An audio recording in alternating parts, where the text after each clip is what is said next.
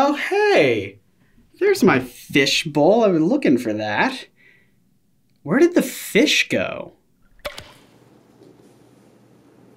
Eh, you know what? It's not a pressing concern. I'm sure they'll turn up eventually. But, you know, this upside down fishbowl, placed here by mysterious and unclear circumstances, does remind me of a story.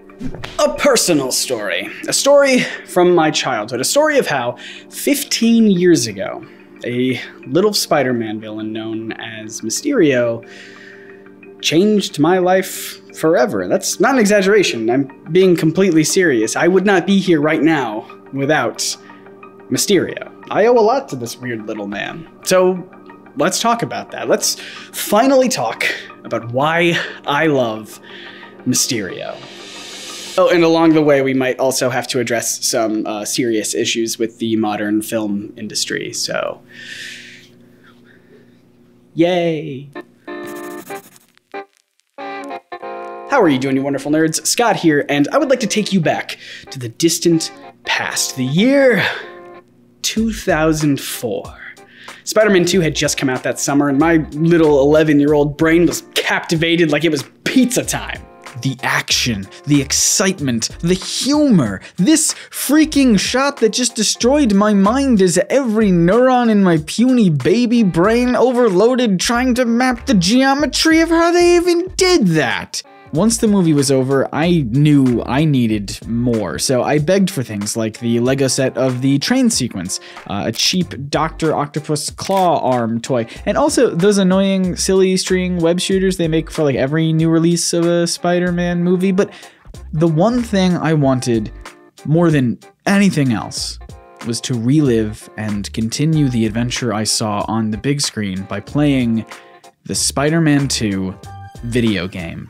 So at the time, I was visiting my grandparents over the summer for like a week or so, and they actively encouraged my love of superheroes, which was very nice. Uh, and they went out totally unexpectedly and bought me the Spider-Man 2 video game for Xbox. Um, small problem though, I love it, it's great. They didn't actually have an Xbox for me to play this on. Uh, my older brother had one back at our house, but I wouldn't be back there for another couple days. So I did the only thing a young tween nerd in my position could possibly do. I read the manual.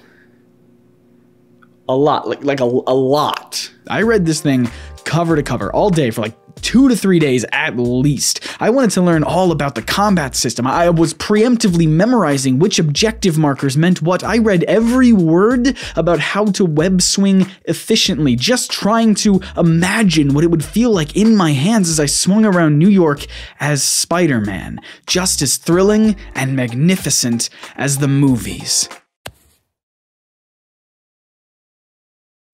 And I guess the scene of me reading this manual over and over again looked so pathetic that my grandpa eventually felt so sorry for me, he went out and bought an Xbox so I could actually play this game while I was there with them.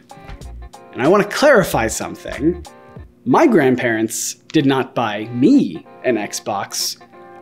They bought themselves an Xbox and allowed me to play Spider Man on it.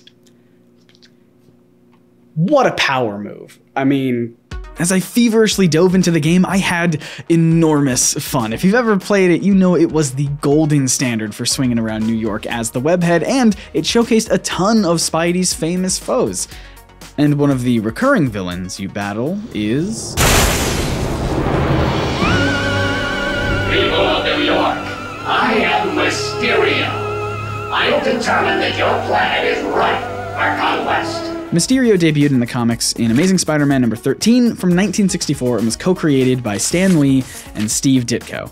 Quentin Beck grew up with a love of movies, especially old sci-fi films that would push the limits of special effects. He got into the film business as a stuntman and eventually became a special effects artist. Oh, and just for clarity, because uh, this is kind of a pet peeve of mine, special effects refers to practical, usually physical effects that are captured in camera. Anything from atmospheric effects like artificial rain, wind, and fog. Oh, it's so loud! It also includes things like uh, miniatures, puppets, and uh, animatronics, pyrotechnics, all of that stuff. So much smoke in here now. Basically, special effects are all of the real effects captured on set. Uh, obviously, they're not real, they are controlled. Uh, movies are just elaborate lies, but you get my point. Now, when it comes to effects that are added in post production digitally, the term for that would be visual effects or VFX.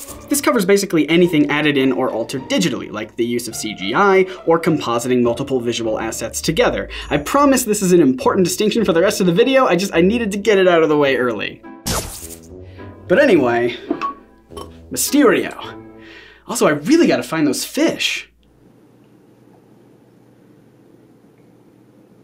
So, Mysterio's supervillain origin has subtle variations, but they almost all boil down to the idea that Beck didn't get as much recognition for his work in the film industry as he would like.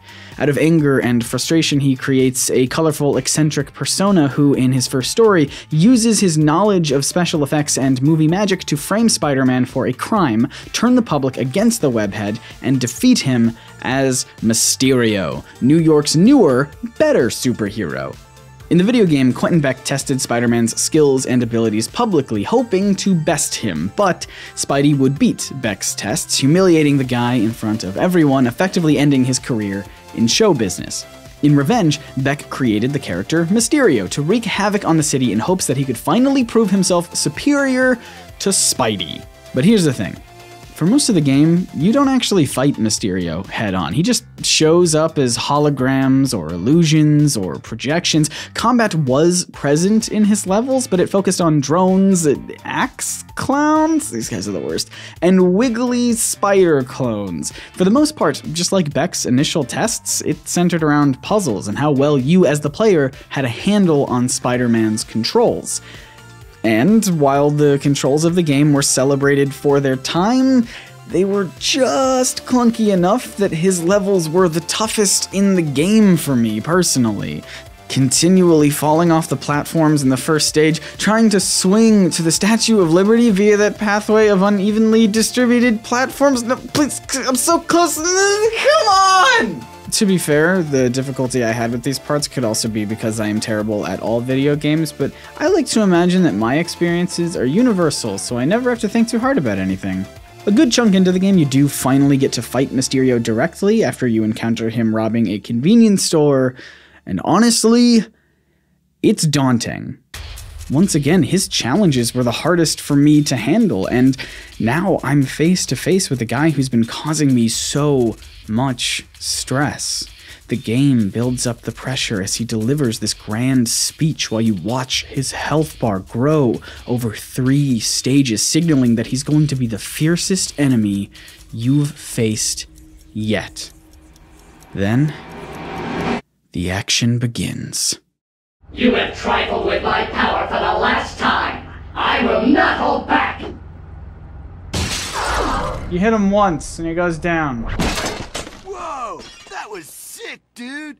The first time I played through that part of the game, I remember just taking a moment, putting down the controller, and just thinking to myself,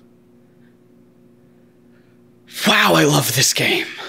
Don't get me wrong, comedically anticlimactic moments like this were far from revolutionary in 2004, but it was done beautifully with Mysterio, and it follows precedent. Whether in comics, cartoons, or video games, Mysterio should never actually be able to compete with Spider Man in combat. Mysterio challenges Spidey mentally, but when the two finally come face to face, he consistently goes down in one blow.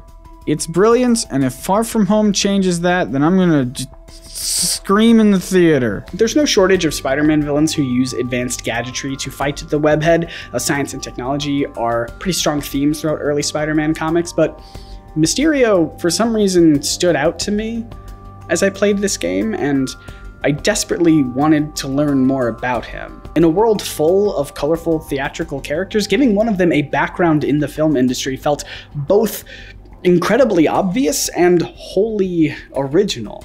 I can't remember a character ever capturing my attention the way that Mysterio did. And I'm not exaggerating here when I say that seeing this laughable villain in the Spider Man 2 video game of all places genuinely changed the entire trajectory of my life from that point on. Before Mysterio, I never really thought about filmmaking as a career that I would be interested in, but thanks to this side character in a video game adaptation of a movie sequel, suddenly it's all I could think about. I now had a hunger for learning more about film production and special effects.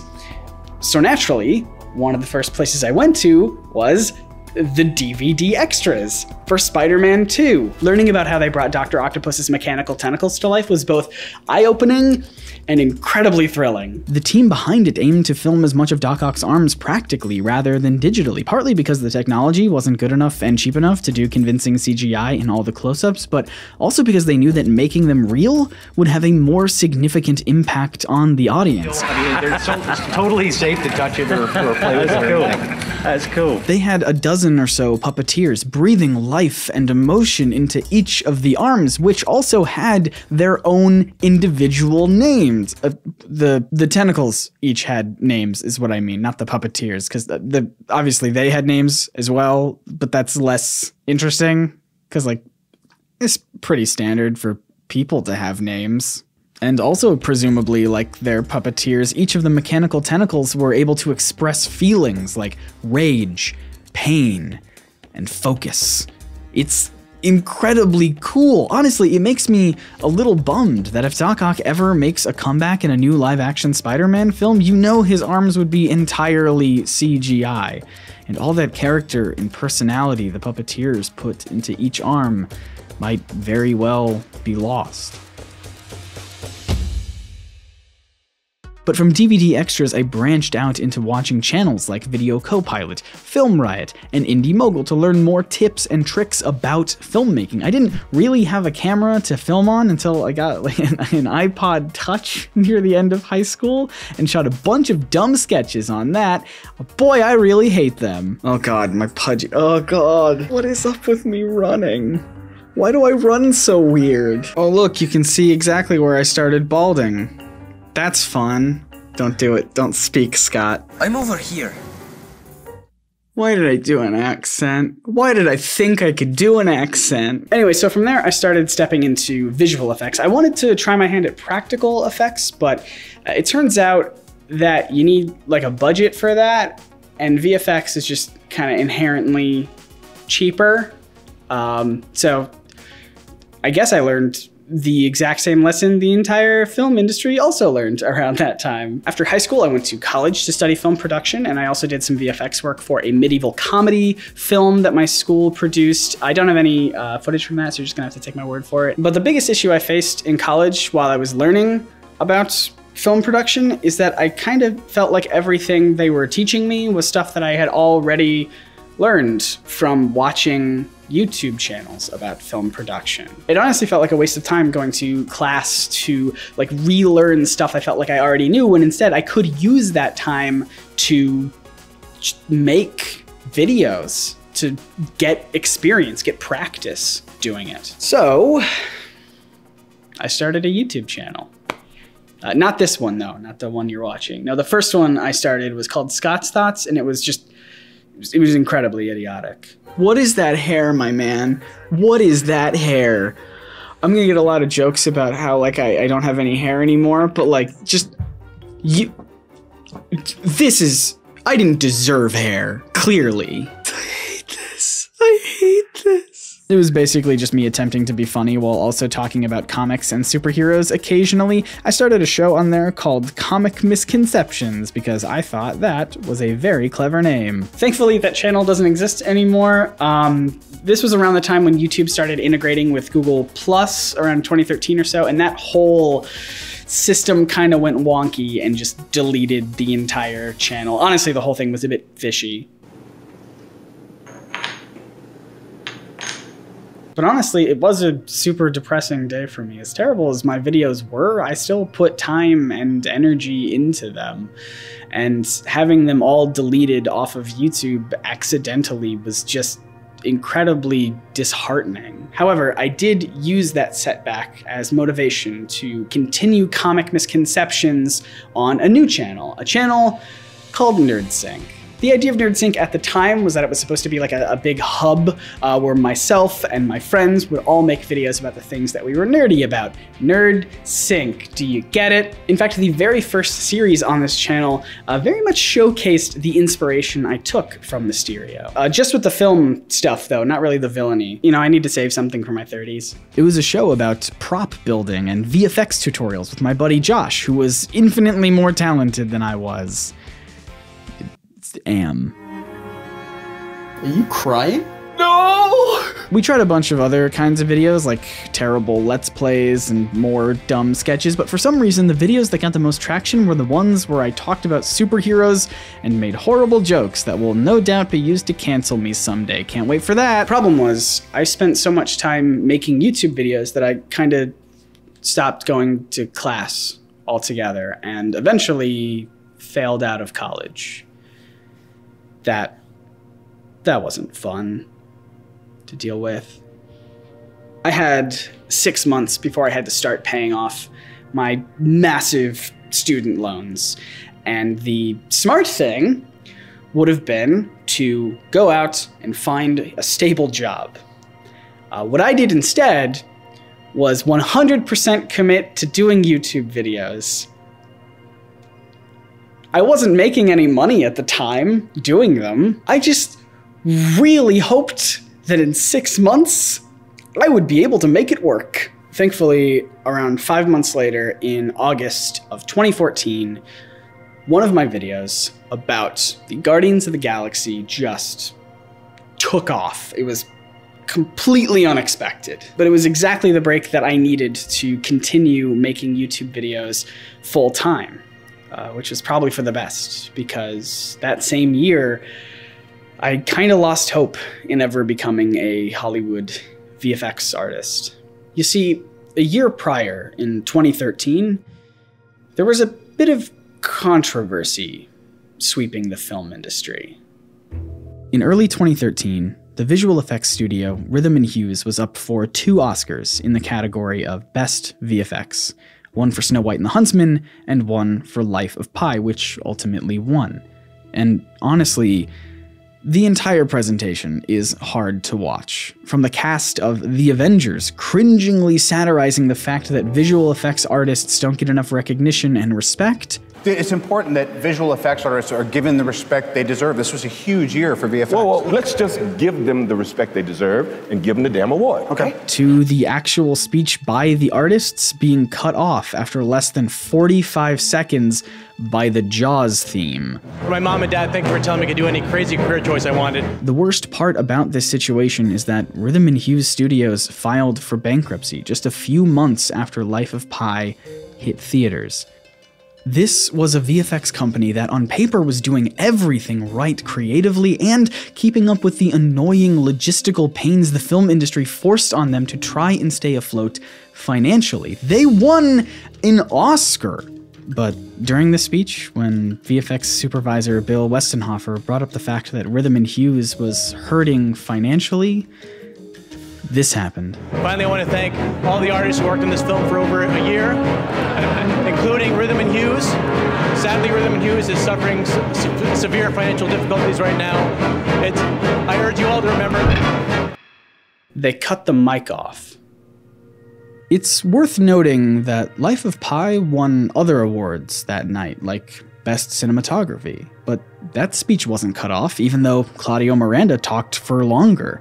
And when Ang Lee won for Best Director, he thanked just about everyone on the planet except the visual effects artists. Everyone watching this video right now, guess what? Ang Lee also thanked you at the Oscars that year. Unless you worked on the VFX of the film, in which case all Ang Lee did was complain about you. The end days of Rhythm and Hues were captured in a documentary called Life After Pi that I came across in 2014. The same year, I decided to take a leap away from pursuing VFX and started focusing on this YouTube channel full time. And this documentary was a big reason why I made that shift. I didn't want to go into an unstable career, so I chose YouTube instead. Right. And when I think back to Mysterio, the character who started me down this road that eventually spat me out right here, right now, it's almost prophetic that Stan Lee and Steve Ditko created a movie effects artist who wasn't getting the respect and recognition he thought he deserved, especially in the presence of superheroes stealing the show. But at the very least, hopefully you now know why Mysterio means so much to me and why I spend my time making videos about how comics and superheroes are important and impactful and meaningful. I gotta be honest with you, some days I really do miss the VFX side of things. I miss sitting behind a computer and spending days trying to get a shot to look cool and believable. And to feed that urge again, I've been trying to do more things in these videos over the past year or so that involve uh, more cinematic lighting or costumes or makeup and, and editing, all the things that are creatively fulfilling to me. I've been trying to get back into that again. More so than anything, I just want to improve my storytelling abilities and not just list off facts and sprinkle in a couple dumb jokes here and there like I used to with all my old videos. Like I'm proud of my old videos, I guess, like to an extent, but you know, I want to grow. I want to get better, improve over time, make these videos more exciting and interesting to watch. And hey, if you want to support me getting back into that groove that was inspired by Mysterio of all people, uh, consider supporting me on Patreon. At the very least, I hope you've enjoyed this behind the scenes look at the journey that started this YouTube channel and got me to be in front of your faces right now. And if you're new here, I'd love it if you subscribed. I want to give a huge thanks to Christopher Lang, Laurie Timms, Billy Bombs, Everett Parrott, Havelock Smiggles, It's Quintly, Jonathan and Megan Pearson, Jonathan Lanowski, Sonali Monka, and the rest of the wonderful nerds who support me over on patreon.com slash nerdsync. Link in the description. Click or tap right here to learn why Spider-Man and Doctor Strange make the same hand gesture, or click right here for something else. I don't know what it is. Once again, my name is Scott, reminding you to read between the panels and grow smarter through comics. See ya. Okay, this has been uh, horrible. Bye forever.